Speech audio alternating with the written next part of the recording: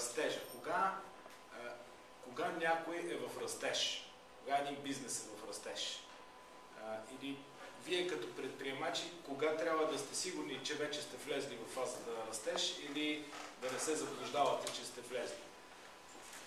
Принципно може да се случи така, че от един проект или от два проекта да, да видите един значителен ръст в вашите продажби печалба и да се заблудите, че сте период на растеж и да влезете в някакви действия, които а, всъщност трябва да се предприемат тогава, когато наистина има растеж. Значи, за да дефинираме и да, да преценим, че наистина сме в растеж, а, правилото е 2-3 месечи.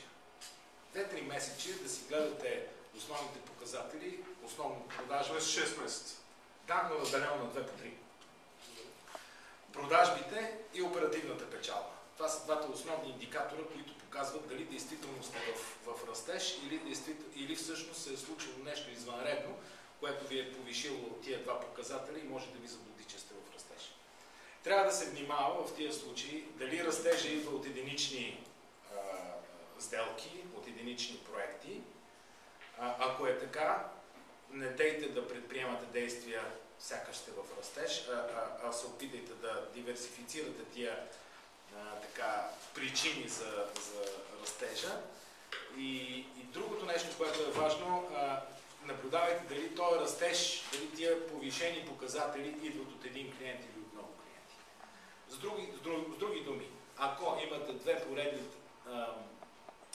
три месечия, в които имате растеж на продажбите постоянен, месец за месец, първото три месече, месец за месец, второто три месече, това постоянно расте, заедно с оперативната печалба, разбира се, защото може да направим някоя сделка, която да ви донесе много продажби, но, но печалбата, оперативната ви печалба да е ниска или намалена или нещо такова.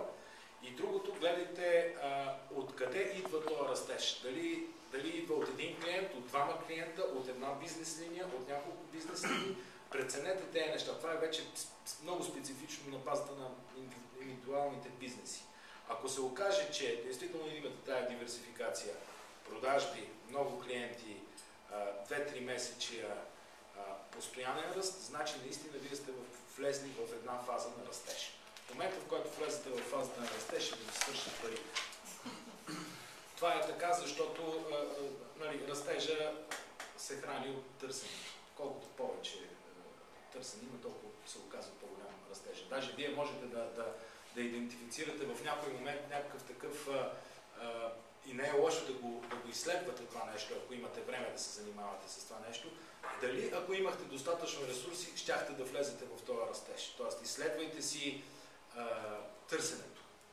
Гледайте как, как, какво идва към вас като търсене и гледайте какво, каква част от това търсене вие може да задоволите с, с съществуващите си ресурси.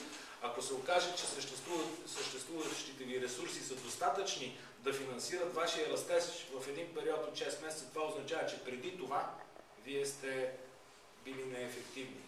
Ако се окаже обратното, че а, вашия растеж в момента няма как да се финансира, това означава, че преди това сте работили правилно от гледна точка на финансовия си менеджмент, т.е. не сте затворили някакъв капитал, който да не работи и сега трябва да си намерите нов.